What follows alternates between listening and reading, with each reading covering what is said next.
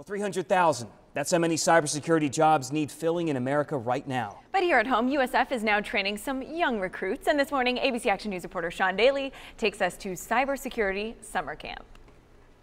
We got it, we got it, we got it, we got it. This camp was his parents' idea. In just a few years, more than 2 million high paying cybersecurity jobs will need filling in America. That's why Merrick Cicello, a junior at Strawberry Crest High School, is here. I grew up in a, in a tech family. It was kind of my parents signing me up, but. this week in Ybor City, high schoolers from all over Tampa Bay are going to cybersecurity summer camp.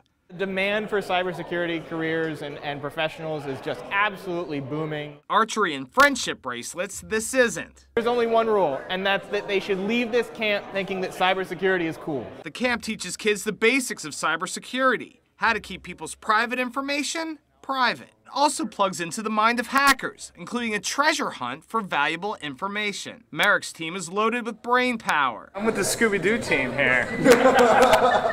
his team comes in first. Cybersecurity camp might have been his parents' idea. It was pretty fun. It was confusing at first, but we were the first ones to get it, so that's nice.